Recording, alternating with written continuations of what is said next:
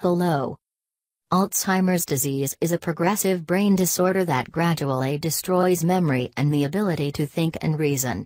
Recent estimates show approximately 4 million people in the U.S.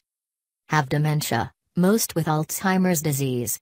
By 2050, that number could be as high as 16 million. However, by making some simple adjustments in your diet to include foods high in folate, you can help reduce your risk.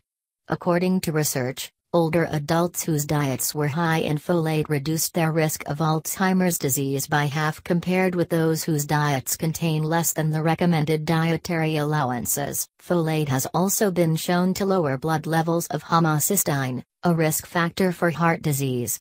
High homocysteine levels, as well as decreased folate and vitamin B12 levels, have also been associated with stroke and Alzheimer's disease. A healthy, well balanced diet is your best option to get the folate you need. Be sure it includes at least 5 servings of fresh fruits and vegetables each day. Foods rich in folate include oranges and bananas, dark leafy green vegetables, asparagus, broccoli, liver, and many types of beans and peas including lima, lentil and garbanzo, as well as fortified breads and cereals. The antioxidants in apples could help protect the brain from the type of damage that triggers Alzheimer's and Parkinson's disease, according to recent research.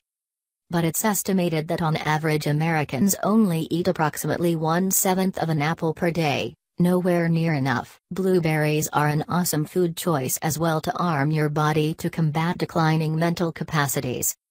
It's also imperative to choose unsaturated fats so your circulatory system stays healthy.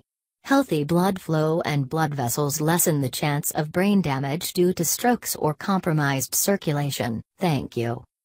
Click the link below. To learn more,